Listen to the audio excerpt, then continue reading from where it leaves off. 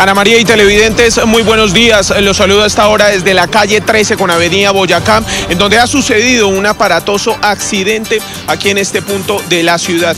Muy rápidamente vamos a saludar aquí al coronel Jaramillo, comandante de Policía de Cundinamarca. Coronel, cuéntenos rápidamente qué fue lo que sucedió aquí.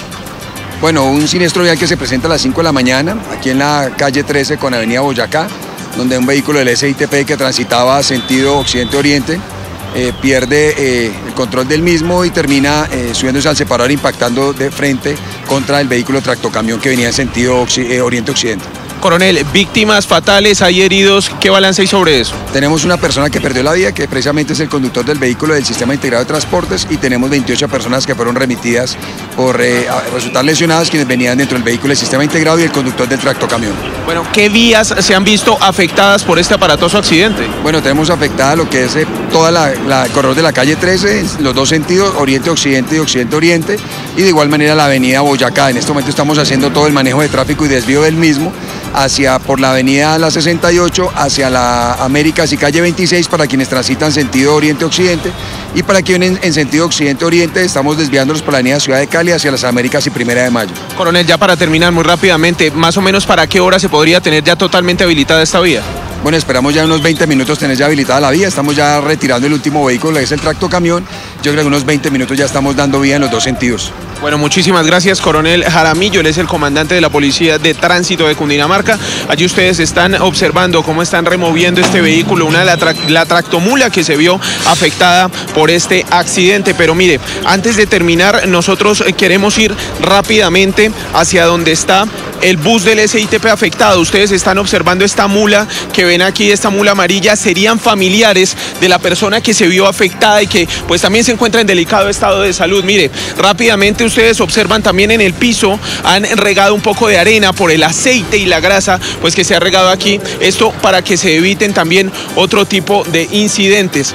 Ya para terminar aquí la información, lo que ha venido ocurriendo, les vamos a mostrar lo grave que ha quedado este bus del SITP. Ya ustedes están observando también el tránsito en esta zona de la calle 13 hacia el oriente de la ciudad. Ya está el paso totalmente habilitado. Vamos a intentar observar el vehículo del SITP que ya se encuentra allí en este punto de la avenida Boyacá y pues que ustedes lo pueden eh, observar en las imágenes. Está totalmente destrozado quedó este vehículo y que lastimosamente pues una persona, el conductor del vehículo azul, del vehículo de servicio público, pues lastimosamente perdió la vida. Son cerca de 28 personas que fueron valoradas aquí en este punto de la ciudad por este aparatoso accidente y son cerca de 12 personas las que fueron trasladadas hacia centros asistenciales y hacia eh, pues centros médicos para que valoren su salud.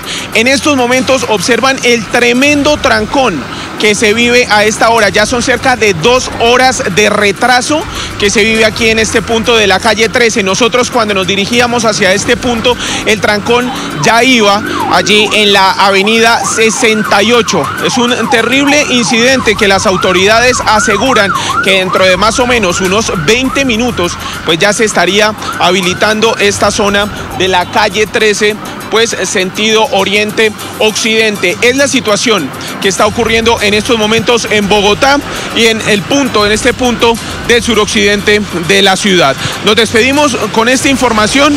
Mucho más adelante les vamos a traer pues lo que ha venido ocurriendo aquí en este punto de la ciudad con eh, lo que eh, ocurrió aquí con este grave accidente. Pues sigan ustedes en estudio con mucha más información. Damián Landines, Cable Noticias. Así es, eh, Damián, lo mantendremos informado a ustedes sobre lo que está ocurriendo a estas horas de la mañana. Alrededor de las 4 y 30 de la mañana colisionó el bus del SITP contra un camión. Hay una persona fallecida, 28 heridos, dentro de los, de los cuales 12 han sido trasladados a diferentes eh, clínicas eh, para recibir la atención médica pertinente a la clínica Kennedy, a la clínica de Occidente, a la clínica Colombia, entre otros lugares a los que se ha podido trasladar a los heridos de este fatal accidente de tránsito ocurrido en horas de la mañana en la avenida Boyacá.